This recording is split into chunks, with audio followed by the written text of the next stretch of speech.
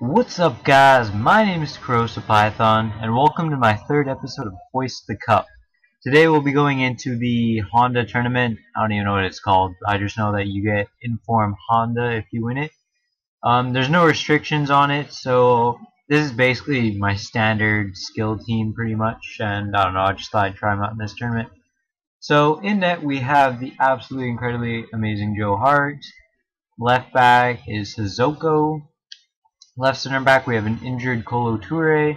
Right center back is the overpowered David Luiz.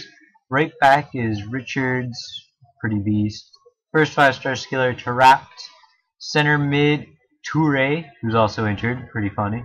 Uh, at left center mid. Ribéry at left wing. Jeremy Menez at striker. And the best non-rare player in the game, Ben Arfa at right wing. So let's get on to the tournament, guys. Alright, so in the first game here, I come up against this guy who is Van Persie, Torres, you know, likes of that, David Luiz. Standard Prem team. The only thing about his team is he doesn't have a defensive midfielder, which I really like playing against because he basically has six forward kind of players and only four defensive, so generally I like to build my teams with like five defensive, five forwards to be more balanced. But we get off to a really nice start here. Great run from Taarabt and chops inside and scores a Nice power shot. Um, I actually did this tournament like a couple hours after it came out, so I was kind of expecting some, you know, hard competition. The tryhards that want to get the Honda before, um, before he goes down in price or whatever, right? Because everyone and their mom's gonna get this uh, Honda, so try to get him early and sell him for you know 20 to 30k before he drops down to his discard value, which is probably what he will end up being. But as you can see there, he got a corner kick and, you know, got a rebound goal. Those are frustrating, can't do anything about them, but it happens. In this clip, I show you a nice build-up play. Beautiful ball there, actually, and the smart pass inside to finesse it with kind of oddly with his left foot into that corner. So about 2-1 in the 72nd minute, and that was quite the foul. like, holy, just totally like kicked Ribéry's leg like way out. You get a nice no, no replay. Um, usually I would shoot that because I'm a cocky motherfucker, but uh, tournament time you gotta be smart, so I cross it across, cross it across, yes, good words. Um, to David Luiz anyways, and he heads it home because he's overpowered, like I said earlier. And we're up 3 nothing 85th minute. He basically, I'm pretty sure he went ultra attacking because look at all that space. That's that's incredible. So I won that game 4-1 pretty easily. I mean, it was really easy to break down his defense with that no defensive midfielder, like I said. And in the second game, I come against this guy who is a pretty insane team. A nice little hybrid there, basically, with uh, Serie A and BBVA. With Inform Higuain, Inform Vidal, and, you know, still has Iniesta, Thiago Silva. So I was pretty worried because that defense is pretty sick. I've never really played against uh, Higuain, but that strike force one thing about his team is Dani Alves probably will be going up farther than uh, Sanchez there because Sanchez is the high defensive work rate and such. So that's really why I don't like using him. But this guy didn't seem to mind. Anyways, as you can see, uh, just about that goal before Ben Arfa scooped turned inside, beautifully placed it.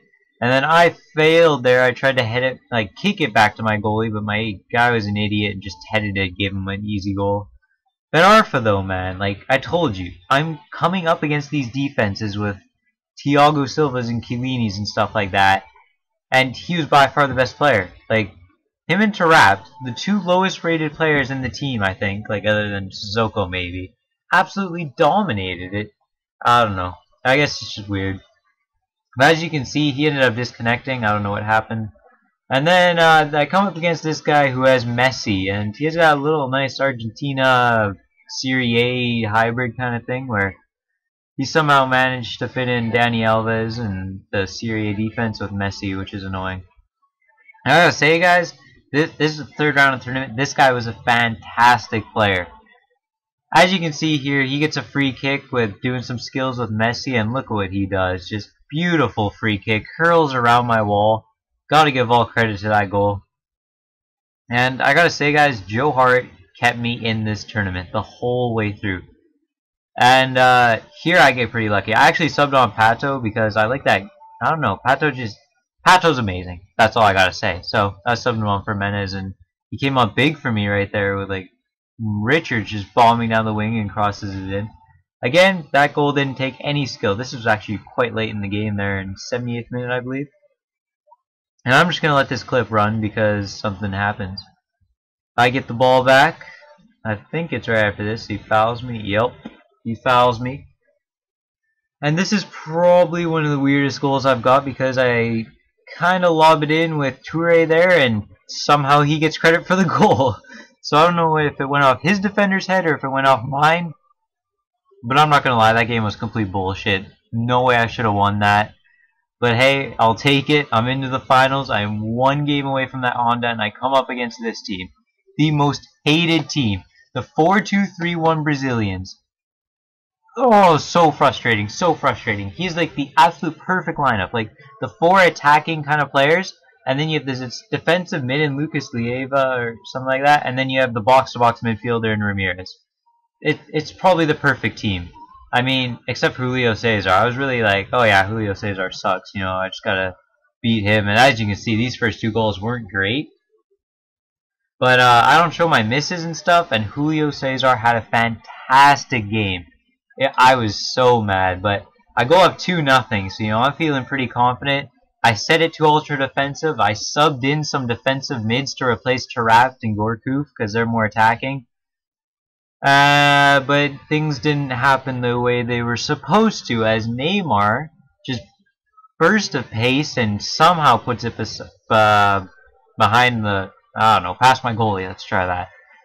And here, he gets a corner, and again, like, look at, how do I defend that? You can. Like, it's, it's bullshit.